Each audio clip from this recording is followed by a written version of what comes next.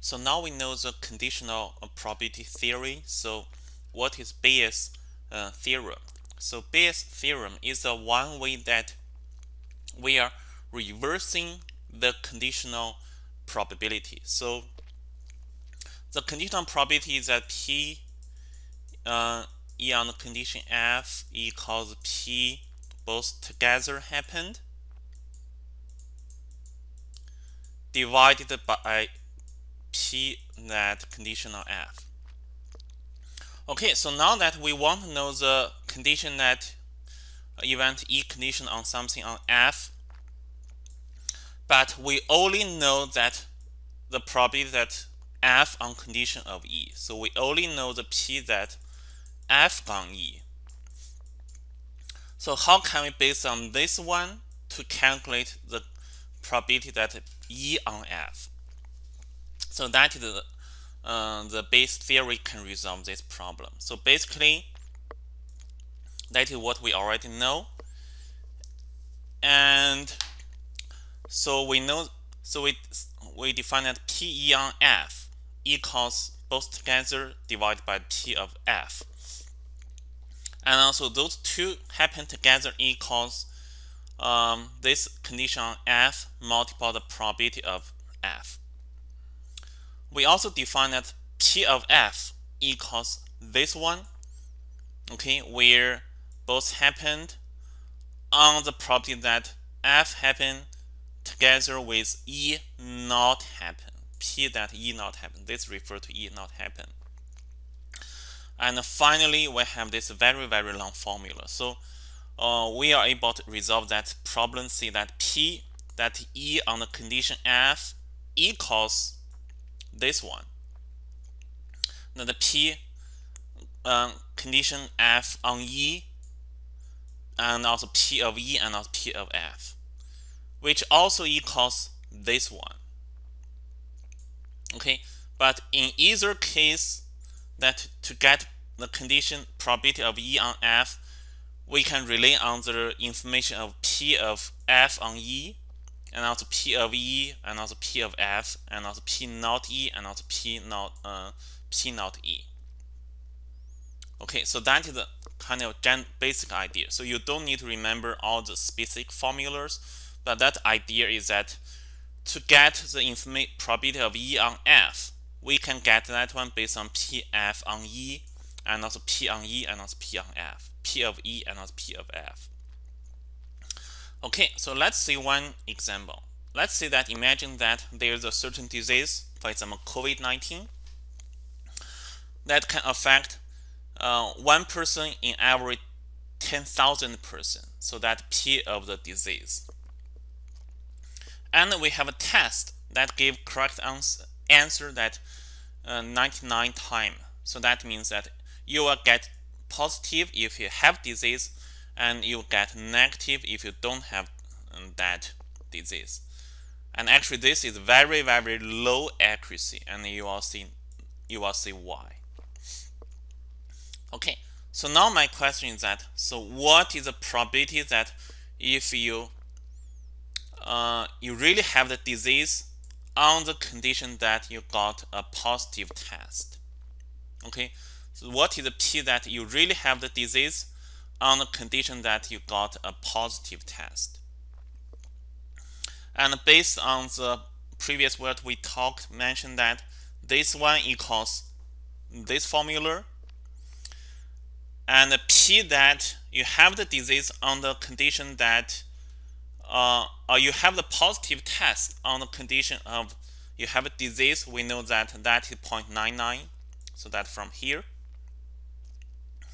The P that you have a disease is this one because every 10,000 person has one, one people will get that disease.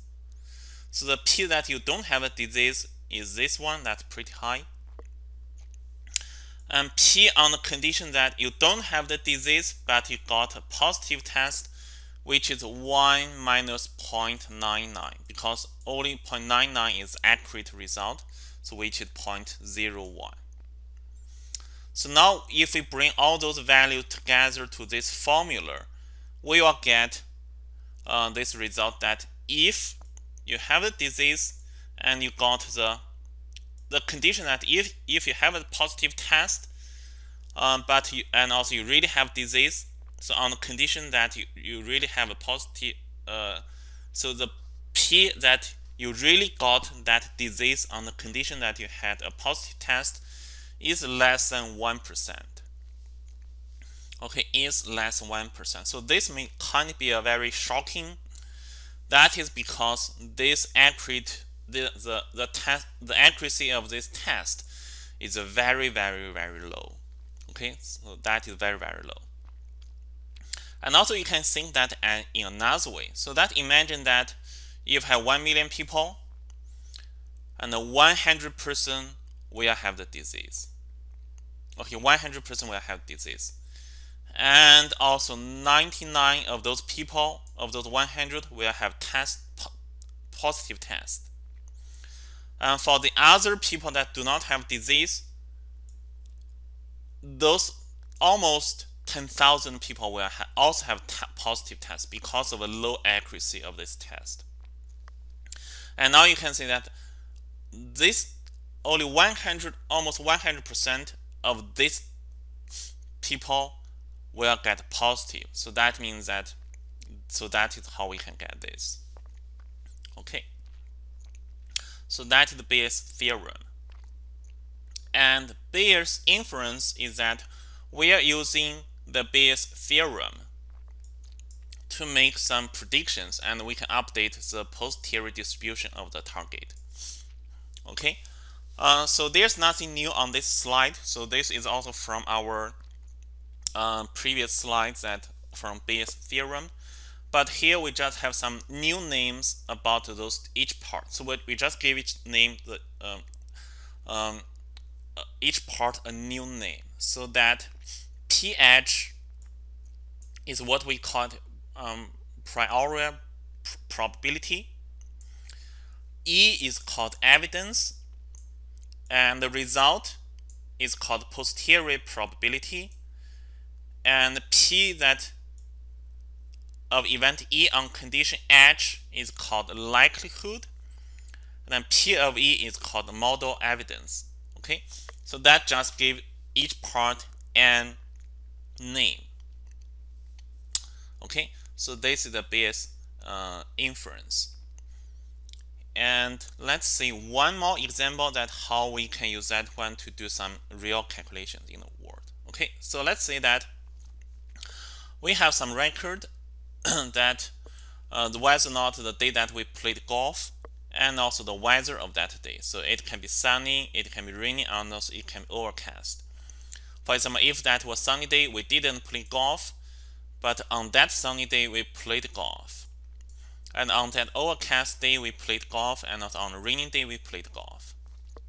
Okay, so that is the data that we have. So now that we're asking that, what is the probability that we play golf when the weather is sunny? Okay, so what is the probability that we play golf on the condition that the weather is sunny. And we know that based on the Bayes inference or Bayes theorem that equals the probability that the day is sunny on the condition that we played golf times the probability of playing golf and also probability that the day is sunny. Okay, and let's say that P of ES. So so what is the probability that P of ES? So we know that here we have uh, 14 records. So how many ES? 1, 2, 3, 4, 5, 6, 7, 8, 9. So the P of ES is 9 divided by 14, so that is 0.64. And among those ES, so how many days are sunny? Okay, so let's say among those ES, how many days are sunny? So uh, 1, 2, 3. Okay, so that is 3 divided by 9, so that is 0.33. And what is P of sunny? So over those 14 days, how many days are sunny? Let's say 1, 2, 3, 4, 5. So that is 5 divided by 14, so that 0.36. So now we have this one, we have this one, and we have this one. So if we bring everything together, we will have the result that what is the probability probability that we play golf on the condition that the day is sunny. So that is this number times this number divided by this number, so that is 0.6. Okay, so that is Bayes uh, inference.